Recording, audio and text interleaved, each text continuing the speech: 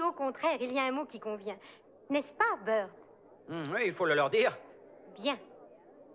C'est